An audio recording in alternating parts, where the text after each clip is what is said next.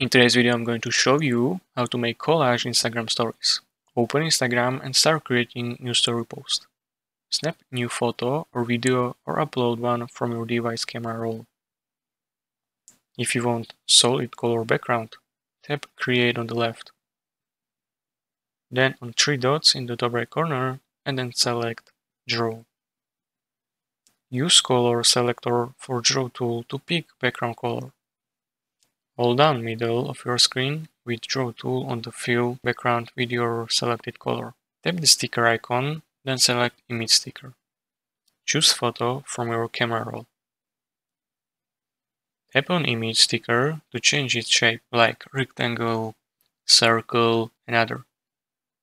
Then resize and place image where you would like to in your collage.